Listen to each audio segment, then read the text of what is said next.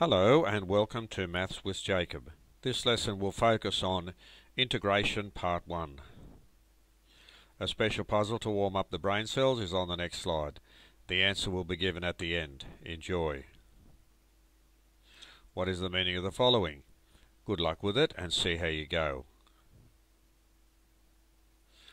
Integration is used to find areas on the number plane. It can also be used to calculate volumes. So here we have a curve, y equals function x, and we have this shaded area. The shaded area has four boundaries. They are the curve y equals function x,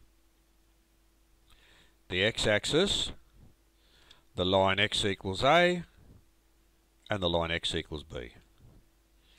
Using integration, we can calculate the shaded area. Integration is shown by the symbol, it's like an S sign. You'll quickly get used to it. The following is the convention used to find the area under the curve to the left. So the area under this curve, it's the integral sign, and the, the A and the B here means we're finding the area between those two lines, and also we have function x, because that's the curve that's involved. So basically we're finding the area between these two lines, the curve and the x-axis. And that's what all this means. Calculating areas under the x-axis gives a negative answer. In this case we must remember to use absolute values. Because basically we can't work with negative areas. So if we need to work out this area here, we just go through the normal procedure, but we must take absolute values, otherwise that will be a negative answer. The figure below shows the area between two curves. We use subtraction to calculate this area. So basically what we have here is this. This purple curve here, I've called it y equals function x. This orange curve here, y equals gx. So they're two functions and in between them we have this yellow area. So the area is from A to B, that's where the two curves intersect, and it's under the purple function and, and above the orange function.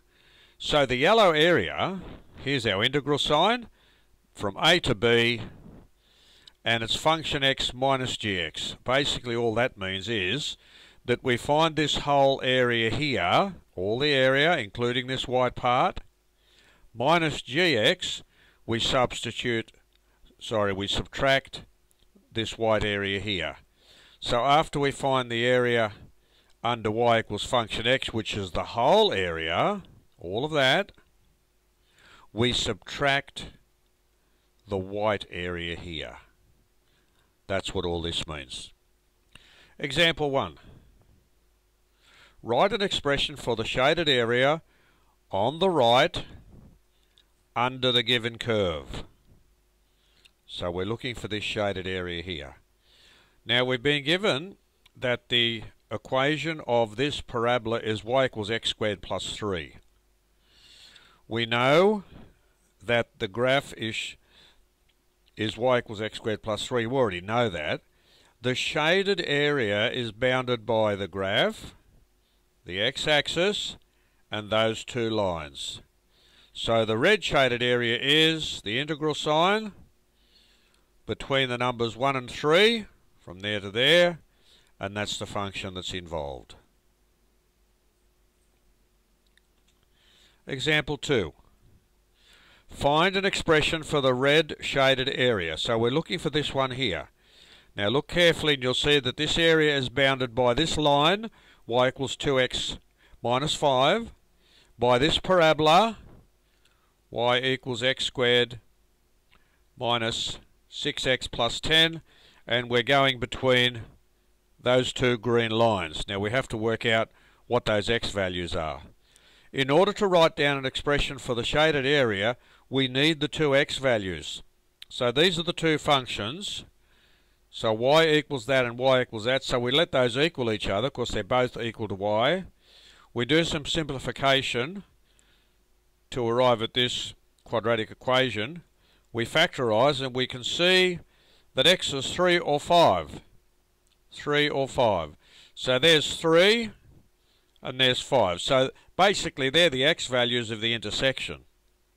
Hence, the red area, this area here, is we integrate under the straight line first and we take away the integral of the parabola. But what we can do to make our work easier, we can actually subtract these two functions here and just end up with this function, which is exactly the same. So we're finding the integral between 3 and 5 for that function, and that will give us the shaded area, because we've already subtracted the functions to find that shaded area there. Here's a quick quiz to help you. Please check through the video at any time. The answer to the puzzle, what is the meaning of the following? Play in the yard. I wonder if you got that. It can be a bit tricky, that one. Here are the answers to the quick quiz, and the video is at your disposal.